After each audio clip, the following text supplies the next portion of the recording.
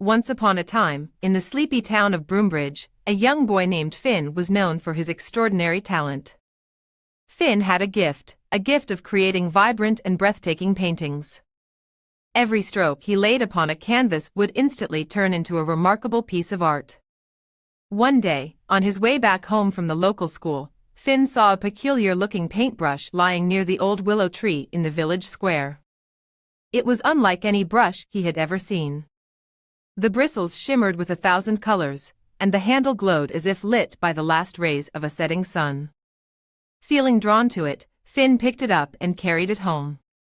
Back in his attic room, Finn couldn't help but try out this enchanting new tool. Taking a deep breath, he dipped the brush into the bright red paint and traced a plump apple on his canvas. As the last stroke connected with the first, something extraordinary happened. The canvas shimmered, and suddenly, there was a real, perfectly ripe apple sitting on his easel. Eyes wide with astonishment, Finn looked from the apple to the magic paintbrush. An idea started forming in his mind. Could it be that this paintbrush could bring his drawings to life? Days turned into weeks, and Finn's talent now had a magical enhancement. He painted toys for his little sister, Daisy, who could never have enough dolls. He created lovely flowers for his mother, who was fond of gardening but rarely had the time. He even painted a delicious cake for his father's birthday, much to everyone's delight. News of his magic brush quickly spread through Broombridge, and soon people started coming to him with requests. A frail old man, Mr. Bennett, who had lost his beloved dog years ago, came to Finn with a photograph. With tears in his eyes, he asked if Finn could paint him back to life. Finn hesitated, having never painted a living being before. However, seeing the old man's hope-filled eyes, Finn couldn't say no. With a trembling hand, Finn began painting. He carefully filled in the dog's fluffy brown coat, its sparkling eyes, and its wagging tail. As he drew the last stroke, a magical shimmer came over the canvas, and a small, excited dog sprang out, licking Finn's face and then rushing over to Mr. Bennet.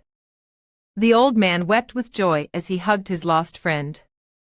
The miracle of the magic paintbrush had given him the greatest gift.